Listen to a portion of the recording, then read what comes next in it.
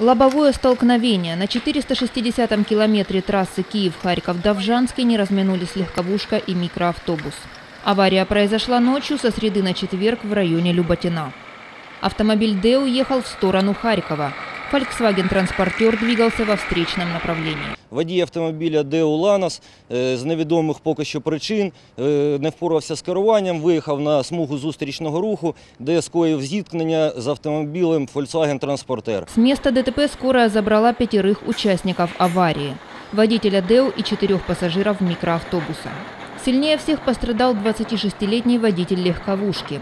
У мужчины закрытая черепно-мозговая травма, сотрясение, открытые переломы челюсти и ноги, ушибы, травмы внутренних органов. У троих молодых людей из «Фольксвагена» и 43-летней женщины травмы не такие серьезные. Переломы, ушибы у двоих пострадавших, травмы головы. Из-за чего автомобиль выехал на встречную полосу, была ли скорость в пределах нормы и в каком состоянии на момент ДТП был водитель, сейчас разбираются эксперты. Галина Шподарева, агентство телевидения новости.